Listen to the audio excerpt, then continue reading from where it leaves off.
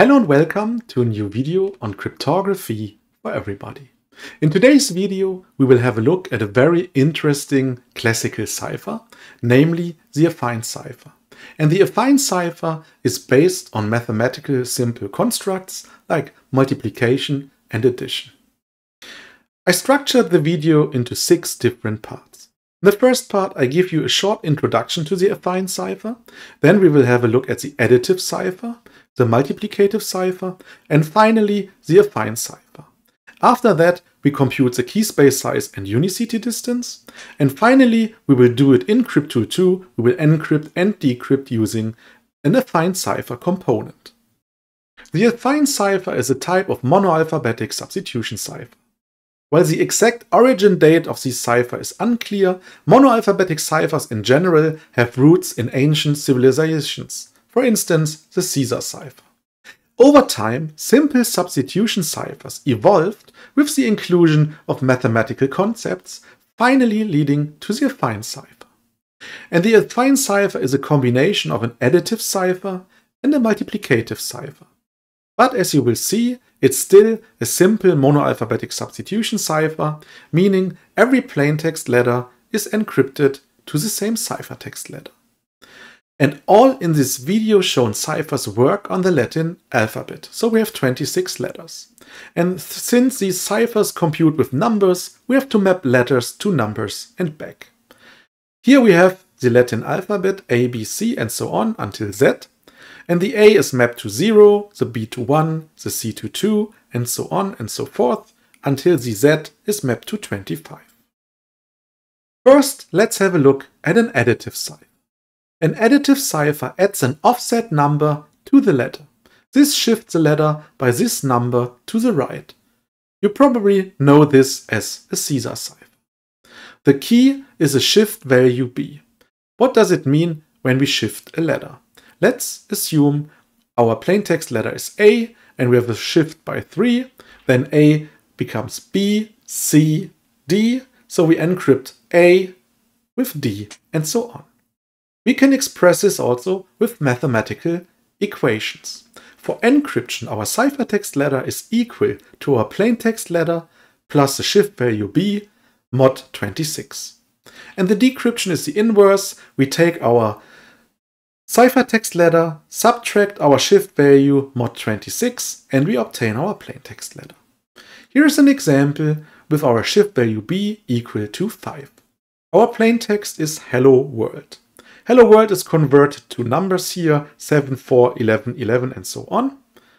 And to compute our ciphertext here, we take, for instance, our first plaintext letter, we add 5 and we get 12. With 4, we add 5, we get 9, and so on and so forth. And then when we have our ciphertext numbers, we convert again these back to letters. We get M, J, Q, Q, T, B, T, W, Q, I. And you can see here that same letters like the L are encrypted using the same ciphertext letters. This is a monoalphabetic or a simple monoalphabetic substitution cipher. Now let's have a look at the multiplicative cipher. A multiplicative cipher multiplies a letter with a number. This randomly selects a letter of the alphabet. What do I mean with randomly? It's not as easy as with a shift cipher. We jump using this construction in our alphabet. This I mean with randomly. And this is also a simple monoalphabetic substitution cipher, as we will see. The key of the multiplicative cipher is our multiplication value a, and there must exist an inverse a to the power of minus 1. If we don't have an inverse, we cannot encrypt. When does such an inverse exist? An inverse of a number a exists when a and 26 here, the mod value, are coprime.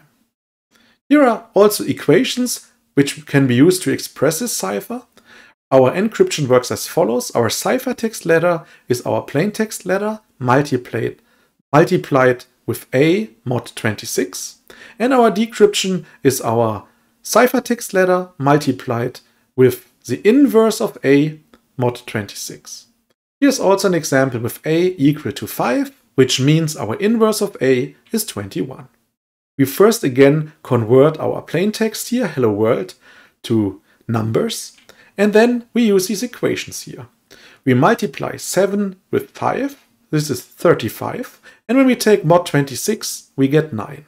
We compute 4 multiplied with 5, this is 20, and we go on and on and on.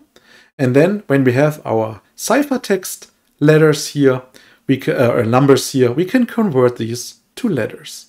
Our final ciphertext then is JUDDS, GSHDP. And as you can see here, same letters are encrypted. Here the same L's here are encrypted to D's. So this is a simple monoalphabetic substitution cipher. And here's a hint. The inverse of a number in modular arithmetic can be computed using methods such as the extended Euclidean algorithm.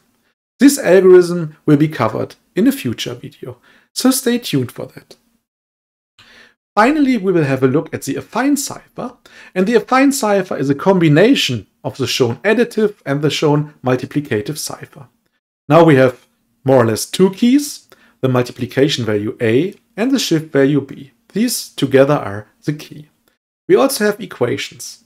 To encrypt, we first multiply our plaintext letter with our multiplication value A, and then we add the B and compute mod 26.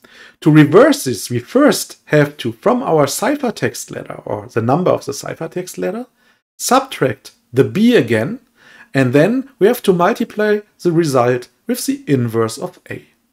Here's an example with a equals to 5, which again means a to the power of minus 1, the inverse is 21, and b equal to 5. We again first convert our plain text to numbers, and then we compute here 7 multiplied with 5 plus 5 mod 26, we get 14. And so on and so forth. We get these numbers here, and then we convert the numbers to our ciphertext. O, Z, I, I, X, L, X, M, I, U. And as you can see again, this is still a simple monoalphabetic substitution cipher. Our L's are still encrypted to the same ciphertext letters. The O's here are still encrypted to the same ciphertext letter, and so on.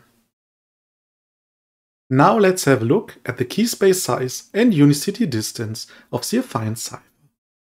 We have 25 possible values for A and 26 possible values for B. Remember, we convert our letters to numbers and we have 26 letters. But the A is converted to 0.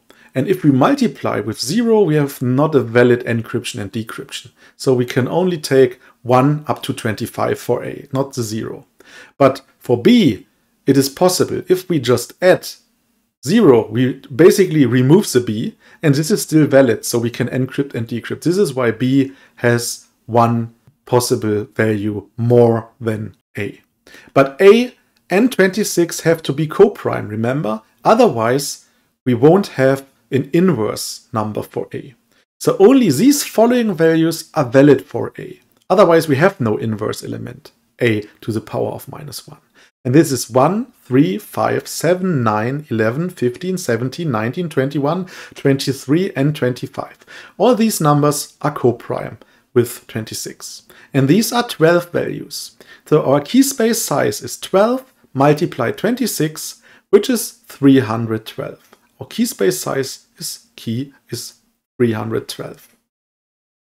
And now let's compute the unicity distance. Remember, the unicity distance is the minimum number of ciphertext that we need when we perform cryptanalysis, that it is possible that we only obtain one valid solution. If we are below the unicity distance, we can create different plaintexts that we that we cannot distinguish. So we had, would have different possible plaintext values. But if we have a ciphertext with unicity distance, we can find a single valid solution. To compute the unicity distance, we divide the entropy of the key space by the redundancy of the language. The entropy of the key space is log 2 of 312, and the redundancy of the English language is 3.2. If we compute this, we get 2.581, about this number here, and since we don't have half or quarter or fractional letters, we have to round this number up. So our unicity distance is 3, so we need at a minimum three letters for cryptanalysis to obtain only a single valid solution. Now that we know how the affine cipher works, let's encrypt and decrypt using the affine cipher component of CrypTool 2.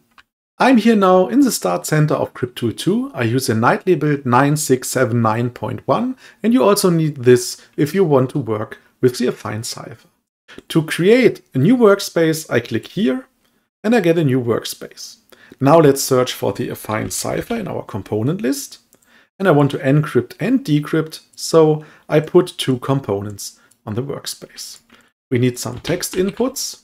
I need a text input here for our message. This is hello world. I connect the plain text here. Let's name this plain text with the first component and then this with the second component. Then I enter an alphabet. I have uppercase letters here. So uh, alphabet. I enter an alphabet from A to Z.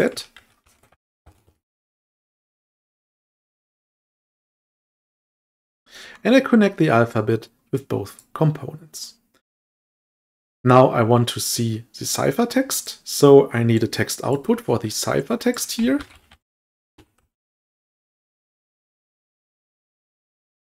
And I just copy the component for the decrypted plaintext.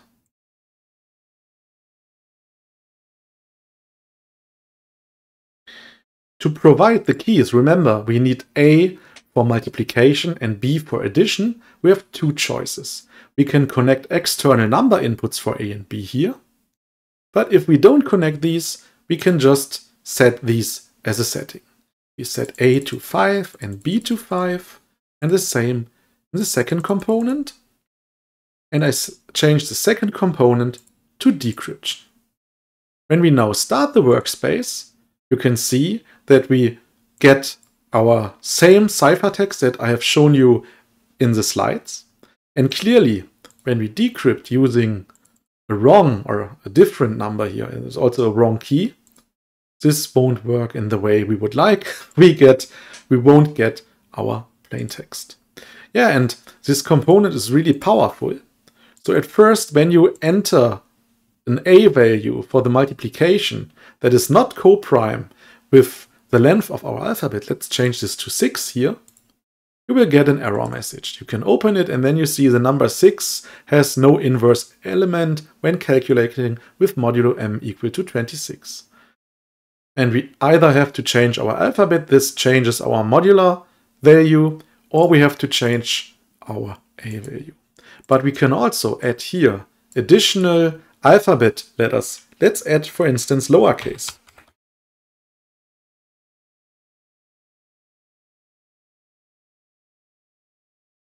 And now, when we start it again, you can see that we also have here lowercase letters in our alphabets.